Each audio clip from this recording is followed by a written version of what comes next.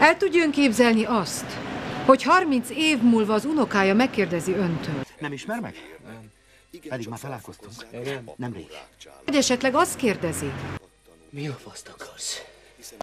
vagy egyszerűen csak azt a kérdést teszi fel önnek. Nem helyi hülye vagy. És ön erre mit fog válaszolni? Nem adott fel, mi?